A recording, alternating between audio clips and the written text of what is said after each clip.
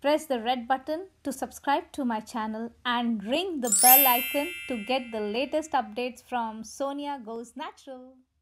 Hey friends, welcome to Sonia Goes Natural. And now, since the festivity is in air, I'm presenting to you festival special chum chum. These are instant chum chum made from suji. Look at them, how tempting they are, and how quick they are made. You will be surprised to see, and they are super soft. If you touch them they will just break off. So i'm not touching them. Presenting to you the recipe of this wonderful chum chum. I have put one cup of water into one cup of water. I'm putting three fourth cup of uh, sugar and i let it wait till the time it gets into a one tar chashni as you call.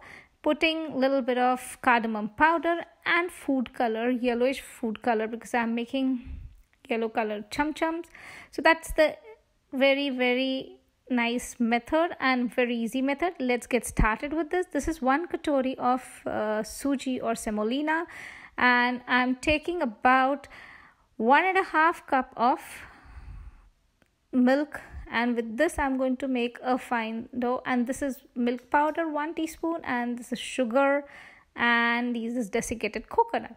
So now let's get started with this easy to make recipe. So here into this i'm going to dry roast. I've put the kadai i'm going to dry roast the semolina or the suji. So i am taking the quantity as per this katori. You have to just keep a measure of one katori whatever you want to do because accordingly you will have to put milk into that. Basically the milk which which we are going to put in this will be as per the calculations because we want a soft consistency from this. We don't want a hard consistency. So milk is done as per the need. This fixed quantity will generally help us in giving a very soft dough of the suji. So the suji should be very very soft so we have to maintain that thing. And for this if we need to put additional milk we can do so.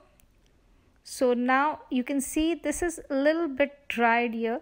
So i'm going to add a little pour um, little bit of more milk into this. And now making it into a softer dough. This dough i have taken out in this and i am waiting for it to cool. Now it has cooled after some time about 5 to 10 minute takes and now i'm going to put in the milk powder. One teaspoon of milk powder is going into this and now nicely making a softer thing by kneading it properly. The dough has to be kneaded properly. So more you knead it more softer it becomes. And after kneading it properly with hand it is the same method as chena but more easier version I'm going to put food color. I'm trying to divide it into two parts so that the food color gets mixed properly. So this I have taken yellow color, egg yellow color of food color I have taken as I love yellow color chum chums. You can keep it white or you can take make it yellow. So here this one tarki chashni is there. This is warm.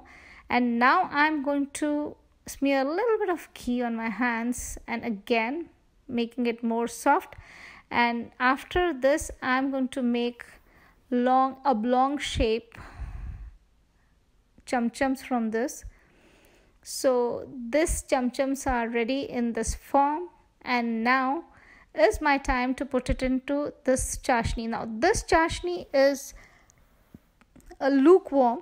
So you want if you want more the sugary syrup to be more penetrating into your chum chums you can boil it with this one tarki chashni. Normally people boil it but i prefer lesser side of the sugar so i'm just keep, going to keep it in this for about half an hour. Till the time it absorbs the sugar syrup. As now you see it has absorbed the sugar syrup. It has become a little bit of that plumpy. And now i'm going to i'm coating it with desiccated coconut to for the final look of the chum chums. So that sugar syrup if you want it to be more sugary you can always boil it once with that one tarki chashni so now this desiccated coconut is giving the final look to my chum chum. And believe me it's these chum chums have turned out to be so soft. They can just break. And so you have to handle it very very softly. And this is the icing of the cake. I'm just putting in a little bit of tutti frutti on this. And look at the final look of this chum chum it is really very very tempting and it is just made in flat 5 minutes and very very soft. So whenever your guests come present them with this lovely nice and tempting chum chums do try this festival season and make your guests happy with this tempting recipe Till we meet next time, if you've liked it, please like, share, and subscribe to my channel Sonia Goes Natural. Bye bye.